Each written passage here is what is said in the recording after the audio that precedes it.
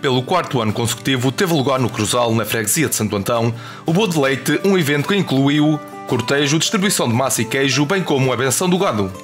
João Paulo Brasil, membro da organização, fez uma análise destes anos, os quais tiveram início com apenas algumas pessoas. Este ano, mais de meia centena de juntas de bois participaram, assinalando um progresso notável. Epá, tem corrido bem, eu acho que cada vez tem, tem melhorado mais.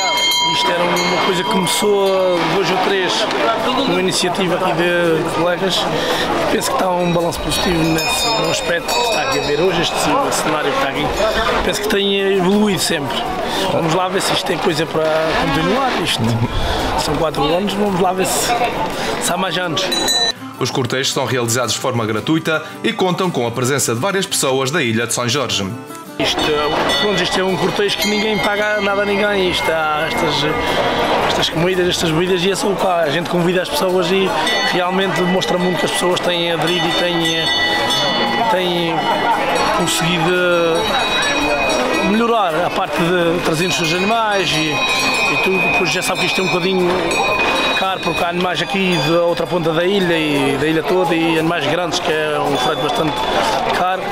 É, é salientar que as pessoas têm, têm interesse em aparecer com os seus animais e têm interesse em aparecer estes cortejos assim com esta dimensão.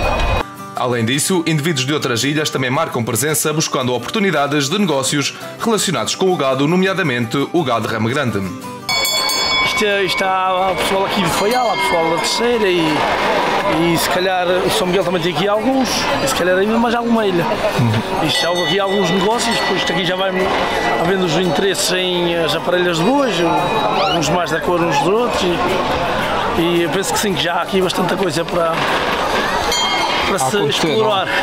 E tu se reparaste bem, a gente daqui, os que vão daqui ao Norte Pequeno, os do Norte Pequeno os contribuem, a gente vai a outras pontas, realmente a gente quando se interessa em ir lá, vê-se neles que eles têm interesse em, em retornar o que, o que foi feito. E uh, isso é, eu penso que é importante as pessoas participarem e se ajudarem uns aos outros, porque sem a união desta gente toda não se fazia o que está aqui feito. Durante este evento, a organização expressou assim o seu agradecimento a todos aqueles que têm contribuído e participado no Boa de Leite no Cruzal ao longo dos últimos anos. Olha, eu uh, gostava de agradecer a todos os que vieram com os seus carros de hoje e que me ajudaram nesta festa. Quero agradecer a eles todos. O Boa de Leite no Cruzal aconteceu no primeiro fim de semana de agosto.